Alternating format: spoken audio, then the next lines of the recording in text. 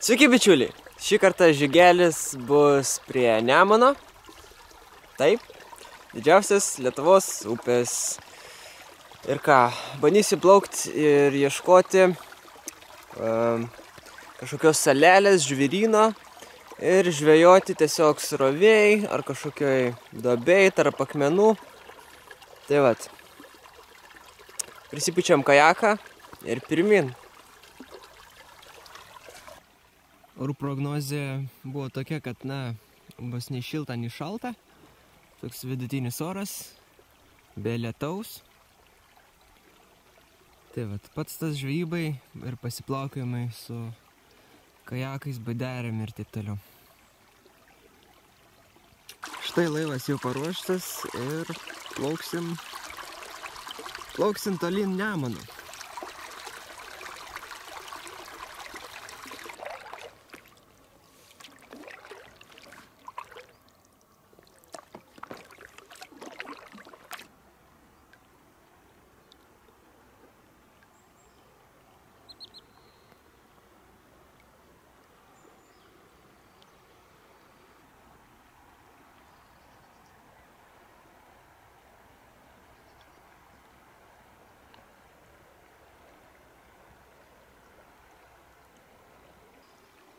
Labai nusiekęs nemonas visur taip. Salelės, salelės, vidury upės. Susidarė rėvos. Geras.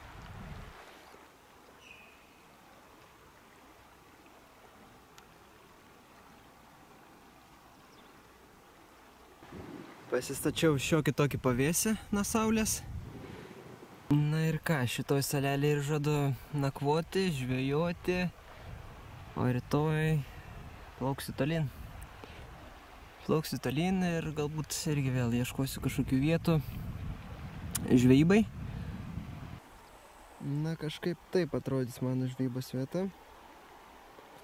Dar vienas salelės. Mesim vat, kažkur ten įsrovė. Čia tokia kaip per minė rėva susidaro. Galbūt geriau būtų anam krante kažkur žvejoti, nes sukuriuojasi vanduo, bet, na, ką padarysi.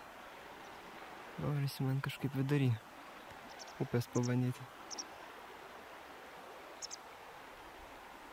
Šį kartą naudosiu tokį pašarą. Čia yra skirtas upėms. Nežinau, nupiešta aukšlė, šapalas, karosas, žiobris. Tai Žiūrėsim, kas, kas šiandien daiktas ir turiu dziko. Vieną dėžutę ir porą dėžučių dar slieku. Na ir tradiciškai kukurūzai.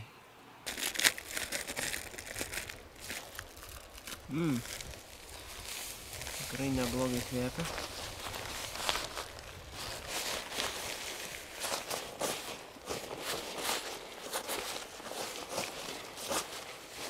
Nu, o gavosi toks pašariukas, damposausis. Dar šiek tiek pabrinks ir galim bus naudoti.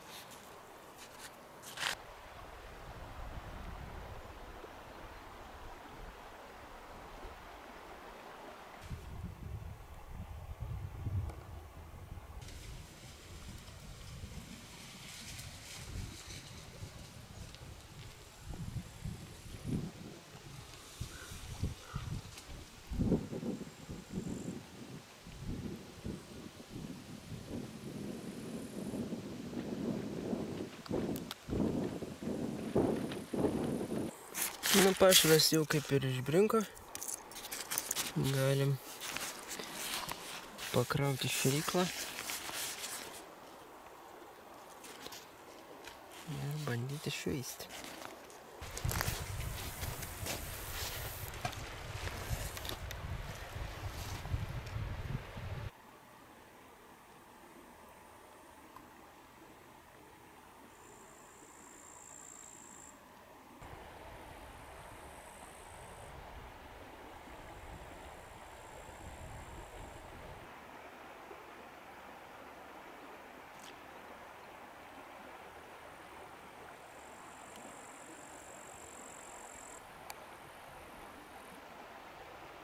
Mažutės kapoja, nu.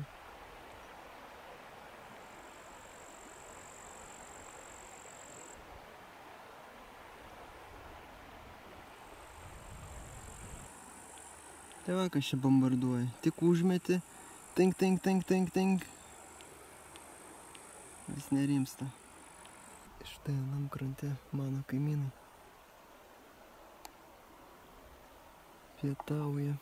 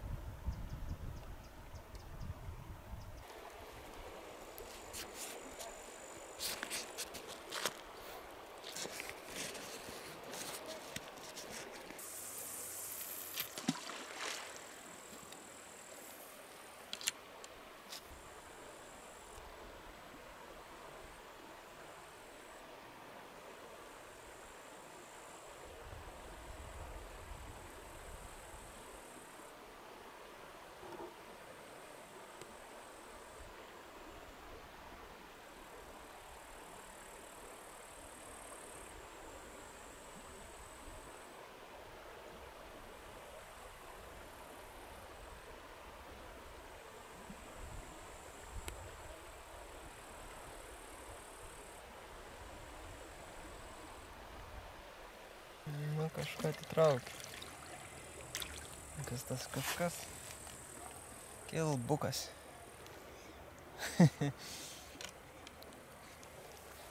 ne, tokia šproto kabinas.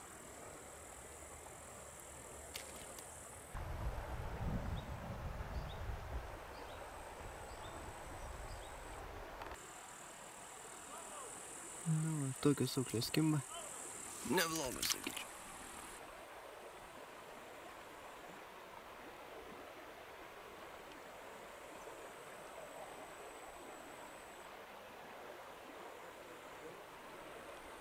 Žolės kažkaip kabinės ten tikriausiai. Srovė neša.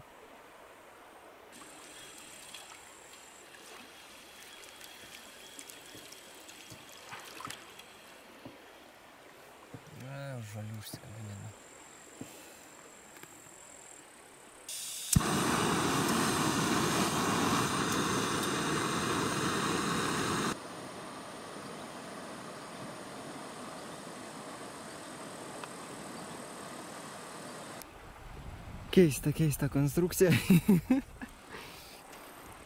Bet vat kažkaip veikia.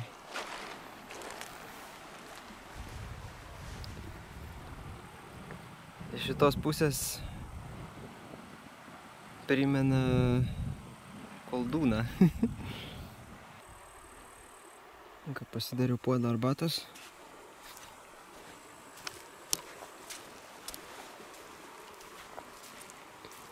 Ir varom toliau žvejoti.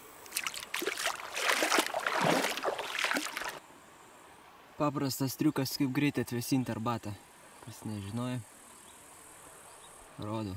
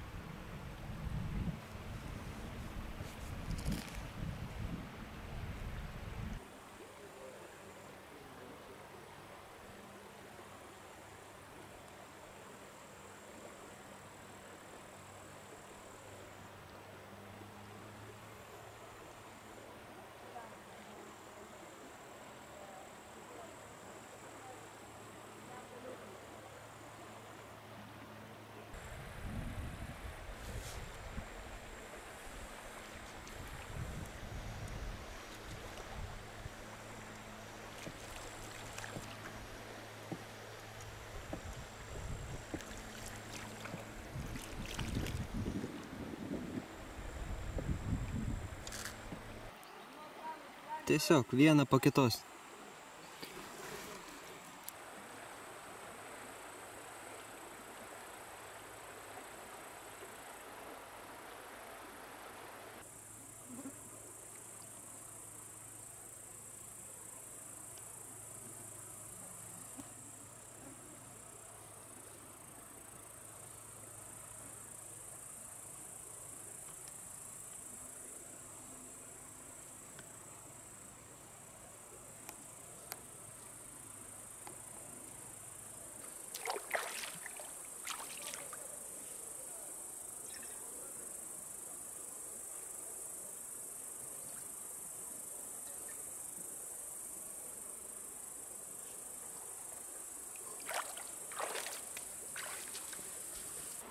Tą virsi vandenį ir gaminsies vakarienę.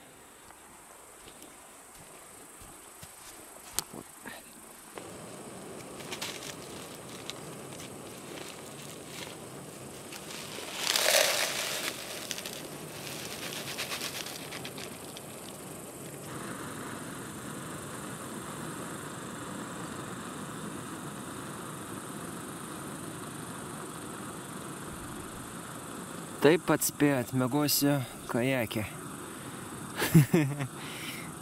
Geras. Pirmą kartą iš tikrųjų. Žiūrėsim, kas čia gausis. Galim ir pratęs žvejybą. Jau drąsiu temą taip normaliai. Man reiktų kaip ir švieselės. Aiškiai gal. Jis tampa ir tampo. Kažkas buvo priplaukęs taip kali, kad visą pavadėlį net nu, nutraukė. Nežinau, kas ten buvo per monstras, bet ne, iš naujo viską susirišiu. O žvaigždžių milijardai. Milijardai. Mano kamera negali užfiksuoti, bet tiesiog neįtikėtina.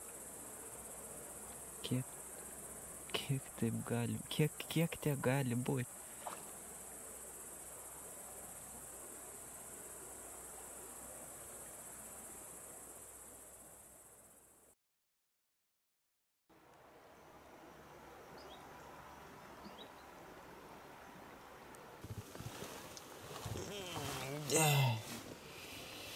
Nesinori keltis. Labas rytas.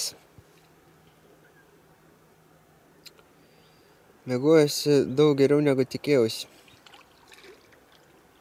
Iš vieninės pusės susikopė labai daug kondensato, tai viskas šlapia.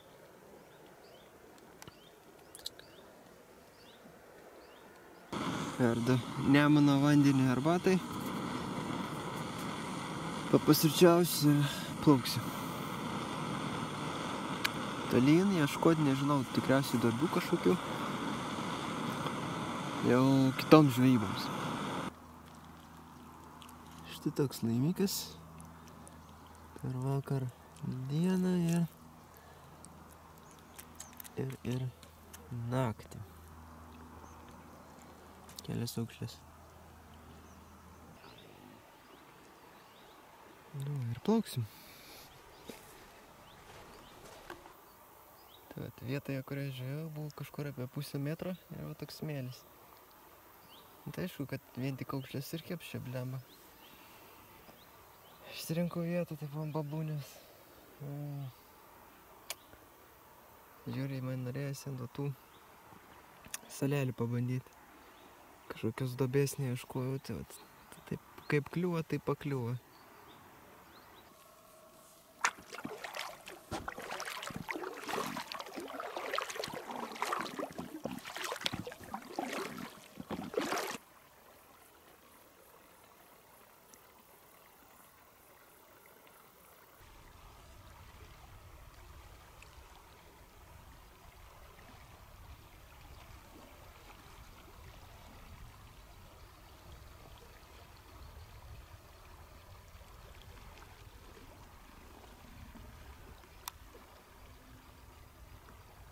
Žvėrių čia gyvas galas.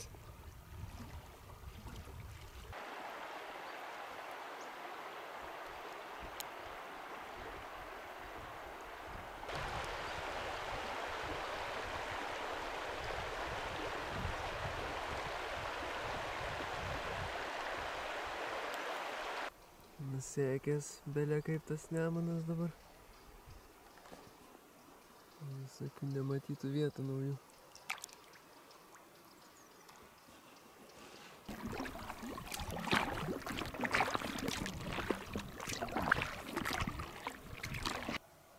Va, apibendrinant šio savaitgalio žybą, tai nelabai kaip sekėsi. Manau, kitą kartą bus geriau šiek tiek. Radau vieną duobę, pasižymėjau džipėsi. Na ir ką, tiek šiam kartui ir iki.